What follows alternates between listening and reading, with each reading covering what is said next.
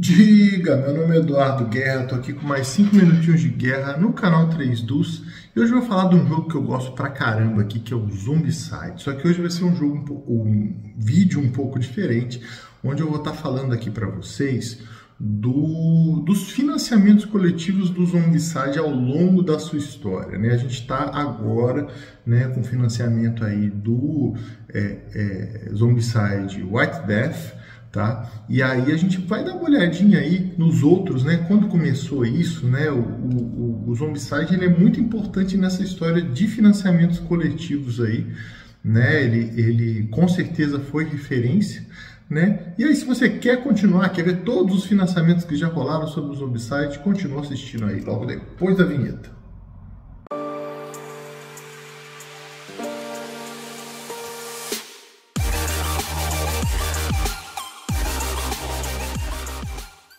Este episódio tem o apoio da Bravo Jogos, muito mais que uma loja, seu lugar de diversão. Bom, galera, então vamos lá, vamos falar de Zombicide, tá? É... Bom, esse daqui que vocês estão vendo aí, né? Então vou, vou rolando aqui na tela, vou falando aqui com vocês. Foi o primeiro financiamento do Zombicide, tá? A gente vai usar aqui mais ou menos o, o, a entrega aqui como referência para saber quando que ele aconteceu. Então a gente vê aqui que a entrega é setembro de 2012, tá? E ele faturou aí 781 mil dólares, tá? Então, assim, já foi muito bom. Uma coisa que marcou foi a questão dos personagens eh, fazerem referência eles, aos atores, etc. Né? É, a questão dos extras e tudo mais. Né? A gente pode ver alguns aí, o Dani Trejo, que fez bastante sucesso ali e tal do, do Machete, né? Teve o Sheldon aqui, né? Do, do, obviamente, né? Era Dave, né? Era, eles usavam outros nomes e tal. Mas aí isso acabou virando um pouquinho essas referências, aí acabou virando uma, uma marca aí do Zombicide que, que ficou para depois aí também, tá? É, bom, então esse aqui foi o primeiro, né? A gente, o sucesso do Zombicide fez ser lançada aí a, a, a Season 2, né? Então, é, é, até essa questão da segunda ser a Season, né? que foi uma nova caixa base do Prison Break, mais uma expansão aqui do shopping. Acho que são dois cenários super típicos aí do, é, é, do Zombicide, é, assim, de, de zumbi em geral. Né? Esse aqui já, já passou aí a marca de 2 milhões, então o negócio realmente foi lá em cima. O primeiro fez muito sucesso. Né? A gente vê aqui que aqui, ó, o, o a entrega foi para o ano seguinte, né? então deu um ano aí de diferença. É... E aí continuou com as mesmas coisas, né? Teve aí os zumbis tóxicos, né? No Toxicity Mall, teve aí os zumbis, os zumbis berserkers, né? Que são aqueles que você não precisa matar de perto, que você não consegue acertar com, com arma de longe. A gente vai ver que teve uma volta nisso daí né? E aí continuou. Uma coisa que ah, tiveram zumbis é, é, é, cachorros também foi, são, são bem legais, que eles são muito rápidos, né? E, e, uma coisa bacana, assim, uma coisa que entrou aqui foi essa ideia aqui do zumbi vivente ou zombivor, né? Que era você, tipo assim, quando você morria, você virava uma versão meio zumbi, que aí você virava a ficha e tinha ali umas estatísticas um pouquinho ali diferentes, tá? É, é um pouco mais lerdo, mas também tinha umas habilidades diferentes. Então, o, o, e essa foi uma ideia que não colou, assim, né? Acabou que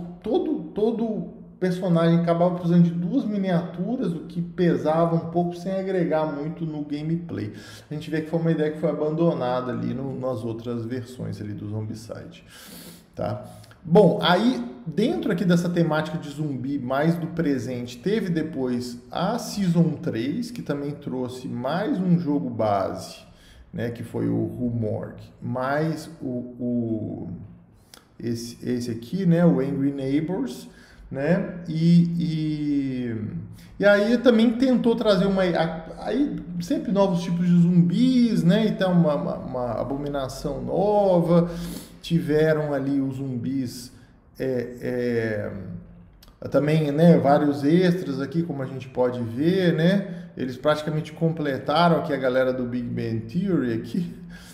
É, é muitos extras aqui para comprar e tal. E aí tinha esses crawlers aqui, que acho que foi a primeira, quando você, às vezes tinha zumbi que quando você matava, não matava tão bem assim, virava um crawler, né? Então é, foi a principal novidade. E aí também teve uma outra questão aqui que eu acho que não ter, não voltou em nenhum outro Zombicide, que era o modo competitivo, né? De grupo contra grupo, aquela ideia ali dos sobreviventes disputando, né, que, que tem também bastante em filmes, mas acabou não, não sendo uma coisa que chamou muita atenção e, e, e agradou a galera, não. Então a gente vê que também morreu por aqui. Bom, já tinha ali três zombicides, já tinha esgotado um pouco ali, e aí é, veio a surpresa do próximo ali sendo esse o Zombicide Black Plague, né? Meio que um reboot. Ah, só para falar aqui, ó, a gente vê que ele faturou aqui bem, né? 2.800 mais do que o financiamento anterior, mas não não não foi um aumento muito grande ali, tá? É, falando aqui do, do, do Black Plague, né? Ele foi um é, é, ele foi um reboot ali para o mundo medieval, né? Eu acho que a principal questão ali foi justamente essa ambientação. É, a gente teve uma boa melhora de componentes aqui, que são essas é, as fichinhas de personagens aqui. Deixa eu achar aqui para uma, uma, uma figura aqui, ó mas tinha umas fichinhas. Ah, essa fichinha de personagem aqui a gente vê que acabou sendo é, usada aí, deu muito certo, então foi uma melhoria de componente aí que acabou sendo refletida depois. E assim, acho que uma das principais diferenças aí do, do, é, é, do Black Plague foi o fato de que agora você tem armadura, escudo, então assim, os, e aí você pode tomar três danos ao invés de dois, então os sobreviventes eles são mais resistentes, né? Então eles aguentam ir mais para cima dos zumbis, o que é, era diferente lá do, do, do, anterior, onde todo mundo era bem frágil, né? para dizer a verdade. Tá? É, uma coisa que também que eu queria ressaltar, nesse financiamento aqui a gente começou a ter vários extras abominações, né? Então antes assim a gente tinha cada caixa base trazia uma abominação, mas aí a gente teve aqui algumas abominações, né? Ah, outra coisa que apareceu no Black Plague foram os necromancers, né? Que criam um novo ponto de entrada de zumbis. Também foi é, é, uma, uma parada bem bacana. Aí a gente vê aqui, ó, tem aqui já, ó, tem o Ab Abominotaur, né? É, então a gente vê que tem ali as, as abominações, Abominalfa aqui, né? Então, é, é, aí os packs de personagens e tal. E aí acho que eles viram também que era a galera curtia bastante ter essas abominações, é, que às vezes eram, eram as miniaturas grandonas, bacanas e tal. Né? Bom, e aí a gente teve o, o financiamento seguinte, foi a continuação, né? foi a segunda temporada ali, tipo assim, do, do, do Black Plague, né? Como eu falei, foi um reboot, ele não era compatível com o anterior, era esse mundo medieval. Aí só pra gente dar uma olhadinha nas datas aqui, ó, a gente vê aqui que esse aqui ele foi entregue aqui 2015, né? Esse aqui já 2018. É então deram um tempinho ali, porque talvez estivesse um pouco saturado, né? Eu cheguei a pegar, se não me engano, foi a Season 3, depois peguei o Black Plague. O Green Horde eu peguei é, é, é, por fora depois, até peguei alguns extras, mas não, não peguei no financiamento não.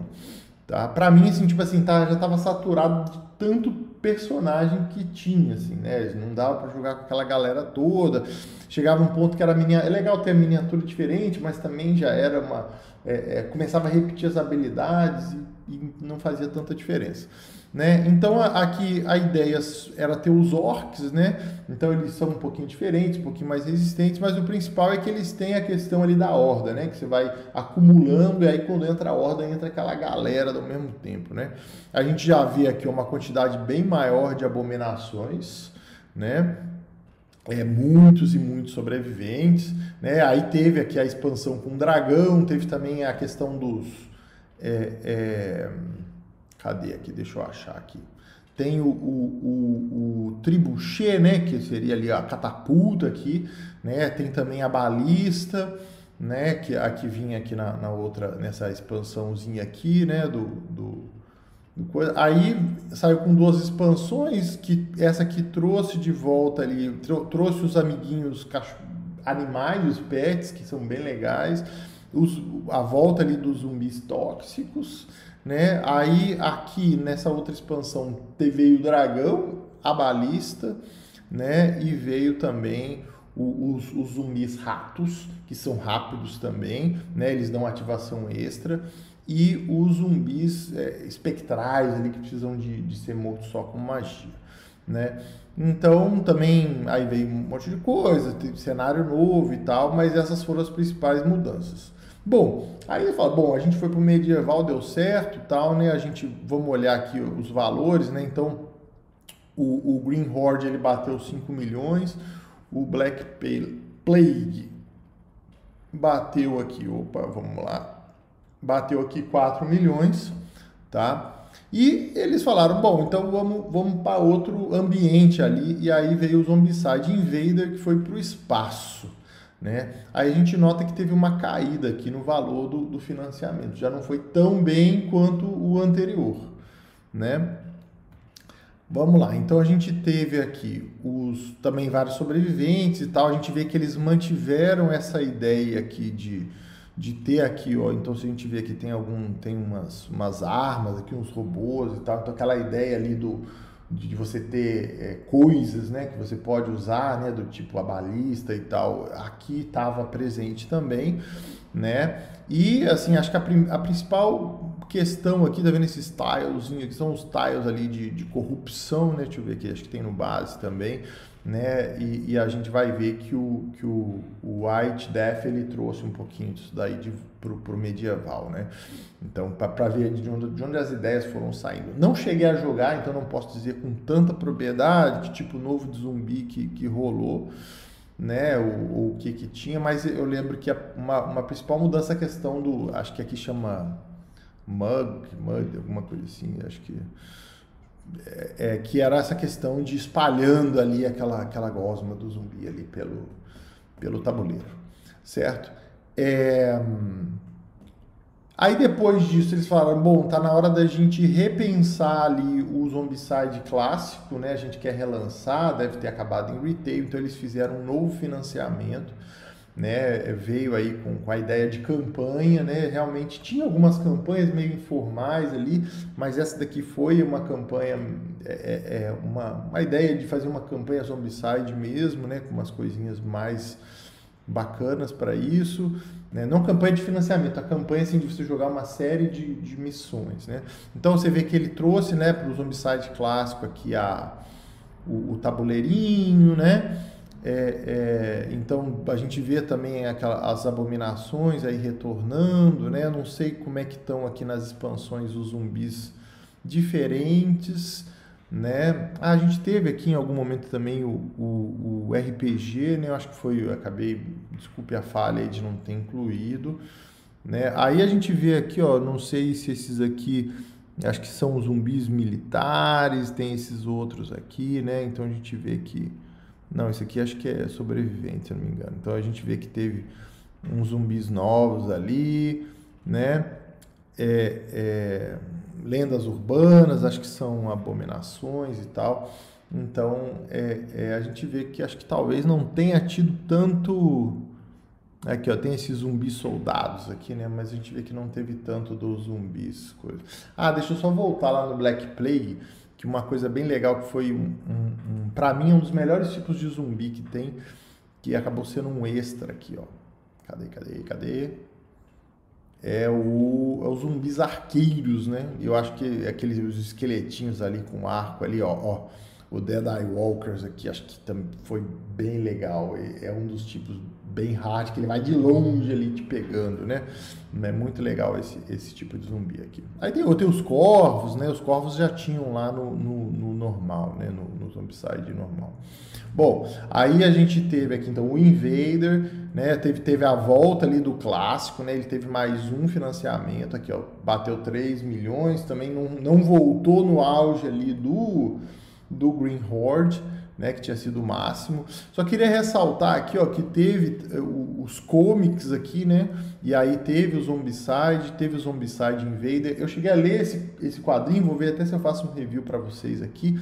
E aí a gente tem até o volume 2 aqui, que se eu não me engano foi financiado agora. Tá? Ah lá, tá tem aqui outros, né? Tem, tem o, até o Black Plague aqui, né? E, e, tá aqui, ó. Não sei se foi financiamento aqui e tal, mas beleza. É, é legal, acho que ver né? os nossos personagens ali, né? Dessa vibe do jogo. Ó, eu acabei não vendo aqui a data, né? Isso aqui foi quando? Foi já 2021, né? O, o, o, a segunda edição foi aqui 2020. E aí eles decidiram é, fazer um pegar em uma outra era que foi aqui o, o Undead or Alive, né? Que, que tá sendo aí, ó, foi aqui, ó, dois, 2022 ali a, a estimativa, eu acho que o pessoal recebeu mais ou menos por agora, né? Deve ter acabado de receber. Eu ouvi muitos elogios, também não joguei igual o Invader. Eu sei que tem a questão do trem aqui que parece que funcionou bem legal, né? Tinha aqui igualzinho, bastante abominação, tipos diferentes. Eu acho que uma das coisas que foram introduzidas aqui, ó, tá vendo? Várias abominações ali de é, é, extras, né? E, e, uma coisa que, que pareceu, me pareceu bem interessante foi a questão. Aqui, ó, tá vendo? A gente vê aquele. Não, não é exatamente isso, mas a, a gente. Ah, teve a questão aqui dos cavalinhos, né? Muito legal isso. É, é, a gente teve também. Ah, e, e, tem a questão aqui ó, do, das, das classes, né? Né? É Gunslinger, Brawler e tal. Que aí é, é isso aí também. Num, a gente tinha ali os sobreviventes ali mais ou menos com estilo, mas não tinha ainda assim uma classe explícita. Ah, ele é da classe e tal. Né? É, não joguei, mas ouvi muito bem aqui do, do, do Undead or Alive, o Zombicide ali pro Velho Oeste. Né? Depois, aí vamos ver aqui, ó, também mantendo ali aquela faixa de 3 milhões, né? Então a gente vê que depois ali do, do, do, do Green Horde a gente teve ali três financiamentos ali que mantiveram essa, essa faixa. E aí veio, né, no ano passado ali o Marvel Zombies, pá, né? A gente pode ver o valor aqui, 9 milhões, né? Não foram entregue ainda, né? Mas ali, assim, o grande questão era um. Tinha ali um, um, um Galactus ali enorme ali, né? Que ah, nem sei se dá para chamar de miniatura isso aí, né? Acho que ele meio que fazia parte do tabuleiro, né? Então ele fazia parte ali meio que do ambiente do jogo. Você usava ele realmente no jogo, né? Eu acho que também é, o financiamento bateu tanto porque olha assim a quantidade de caixas que a gente teve aqui né? É, é, você vê aqui, ó, um pledge chegando a mais de 400 dólares, né? Muita coisa, muito extra, muito é, é, coisa, né? Aí, ó, com Galactus aqui, ó, chegando a, a bater aqui, ó, 600 euros, ó, euros não, dólares, né? Então, é, a gente vê que, que era meio, aí pega aqui, né? E, e assim, eu acho que foi, é, talvez seja o mais diferente, que eu acho que não tem deck de equipamento e tudo mais, você pode jogar tanto ali do lado dos zumbis contra os sobreviventes, contra os sobreviventes contra os zumbis, né? Parece que tem uma coisa ali meio é, é, é, é de compatibilidade ali, onde você tem o, o é, é, assim o, o, o, vilão ali, o herói jogando do lado dos zumbis, pode, você pode usar ele também do lado dos heróis. Não, não, você pode usar ele como inimigo dos heróis, aí o herói você pode usar ele como inimigo quando você está jogando com zumbis, então isso aí pareceu é, bem interessante aí. Né? Mas também não cheguei a olhar com detalhe, né? mas realmente foi arrebatador. Sabe aquela coisa assim do tipo, ai gente, não posso gastar agora. Então, acabou assim que pessoalmente eu, eu tive ali quase tudo ali do, do Zombicide, do, do, do da, das primeiras três seasons, né? Eu financiei, financiei a Season 3, as outras duas eu nem tava no hobby ainda, né? É, é, aí depois peguei o Black Plague, o, Green Horde, não peguei no financiamento, mas peguei as expansões.